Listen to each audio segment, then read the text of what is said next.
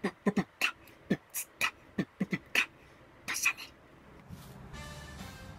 んにちは、としです。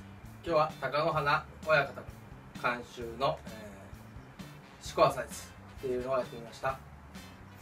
相撲の四股と、えー、体幹のコアという言葉を、えー組み合わせて四股アサイズというそうです。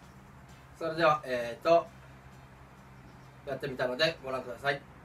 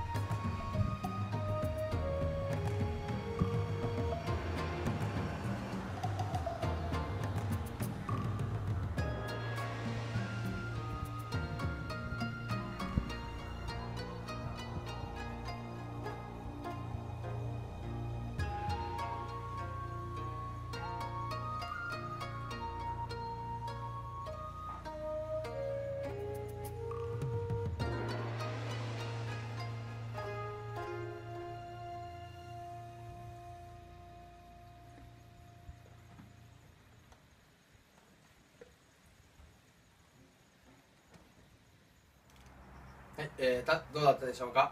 まず最初にこの指の形を作るのがかなり難しいのとこれをずっと維持し続けるのが結構辛かったです。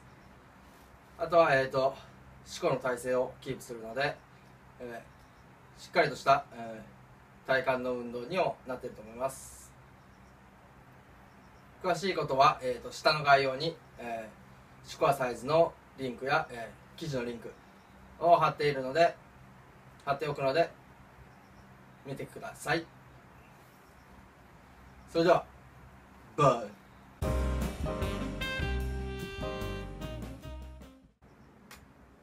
それではえっ、ー、と今日もブーツカットのボイパをやってみようと思います。ちょっと上手くなりました。